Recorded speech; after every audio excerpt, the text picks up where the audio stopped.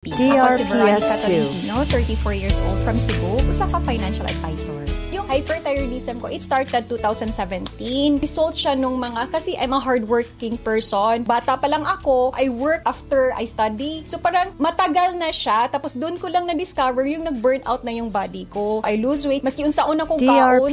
So that's the DRPS2. time na nga, nagpa-ER na jug ko kay, daghan na kay kong gipamati sa kong lawas. Then dito na found out nga na ako'y hyperthyroidism. I heard MX3 way back before pa ako na-diagnose og hyperthyroidism. So it was a friend who told me na, can you try MX3? Ganon. So, tinry na ako. Last August, I submitted myself for DRPS2. health routine check-up. And then, it's good that my cholesterol, my sugar, all normal siya. And then the doctor told me na, you're ready to have a baby. So, it's a, a kind of emotional, but that was really the, ano, the hope, the answer that we're looking for.